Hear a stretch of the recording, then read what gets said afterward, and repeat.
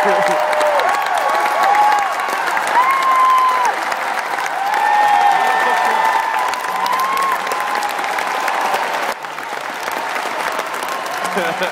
at his little avatar up there.